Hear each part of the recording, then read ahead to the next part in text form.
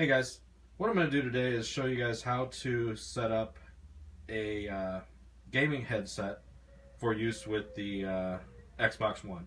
So basically you're converting a gaming headset into something that you can use for your Xbox One that'll work similar to um, any headset that you would buy that already goes, the Turtle Beaches, stuff like that. They make them that are pre-ready to go for Xbox One. But anyway, this is if you have a gaming headset and you want to use them for your uh, your Xbox One. So I'm going to show you everything you need and how to do it. It's pretty simple, pretty quick, pretty inexpensive. Anyway, to start with, obviously you're going to need your your headset. Um, what I'm using today, these are a Logitech G430. And again, these are, are for PC use primarily. The next thing you're going to need, obviously, Xbox One controller. Next thing is an Xbox One stereo headset adapter. That's what the adapter looks like. And you're going to need the audio adapters.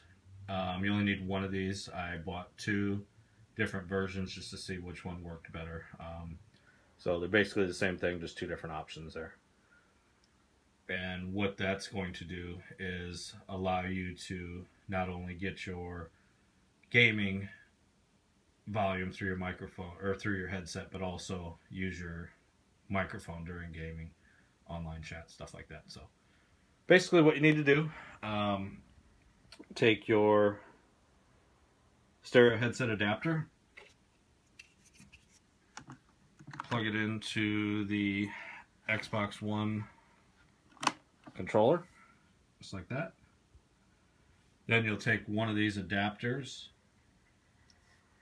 Basically, this is a uh, a 3.5 uh, millimeter mini jack. Um, that's what that is right there, 3.5. This one happens to be made by StarTech. Both of these are made by StarTech. Next thing you're going to do is basically plug this part into your controller.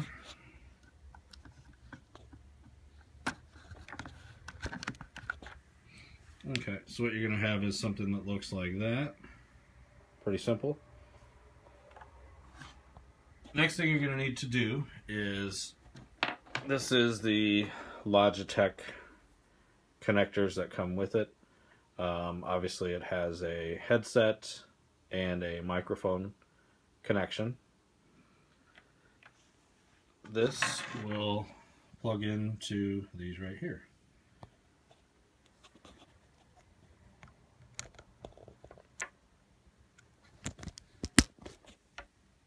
So snap those in. And these are actually marked, um, as you can see the colors there. So you plug one into the headset and one into the microphone. So basically what you end up with is your gaming headset connected to your Xbox One controller. Um, obviously, this will allow you to still utilize, I don't know if you can see that, but it'll still allow you to utilize the settings or the controls on the headset adapter. And will also allow you to still use the control or the volume control mic on and off switch on the gaming headset, which most of those have. So, um, everything here, it's pretty inexpensive way to do it. I had uh, some Astro A40s that uh, were made for the Xbox One. Very nice. I just decided to go with these um, just as another option. So I've got one headset that I can use for my computer and one headset that I can use for the Xbox One.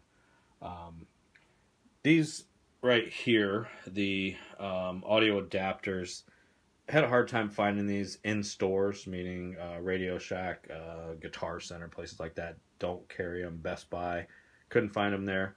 Um, actually found these on Amazon, and I believe they were about six dollars um, each. Obviously, you only need one. This is just um, I wanted to see the quality of both, so I ordered uh, two different ones. So that's the first one. This is the second one. Obviously, the difference being this is uh, contained, um, and this is these are separate, obviously. So hopefully that helps you guys out. I just wanted to make a video. Um, couldn't find any good ones on YouTube that uh, went over how to do this. Um, so anyway, hopefully this helps you guys, and I appreciate your uh, taking the time to watch this. Hopefully it helps out uh, anybody that's trying to do this and saves you guys some money. Anyway, leave me comments, feedback, good, bad, otherwise. I appreciate it. Thanks.